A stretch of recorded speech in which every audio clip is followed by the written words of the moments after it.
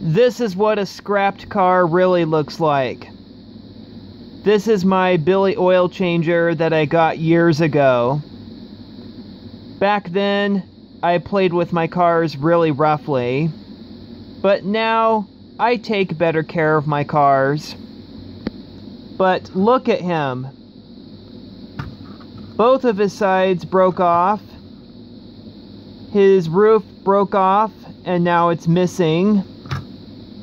You can see the inside of them. Time for me to buy a new Billy Oilchanger. And sure enough, his facial expression matches his condition. I'm sorry, Billy Oilchanger.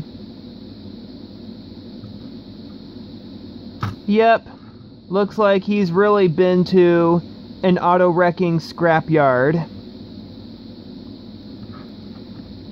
Thing is, if I try to glue the pieces back on together, more than likely they'll break off again.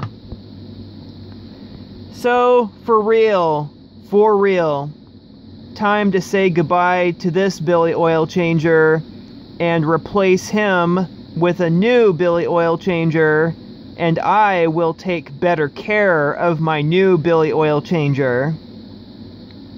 So, yep, this is why I say I never auto scrap my cars, never, never auto wreck my stock cars.